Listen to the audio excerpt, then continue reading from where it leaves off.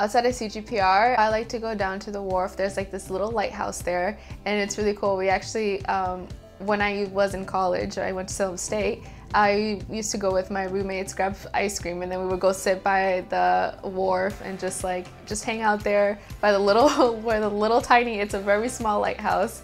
We would sit there and just like enjoy ice cream. I like to do things that are fun that don't have me thinking about like I'm working out and doing this thing, repetitive work, and I just like to like walk around outside, like do a couple like hikes. I just enjoy being outdoors.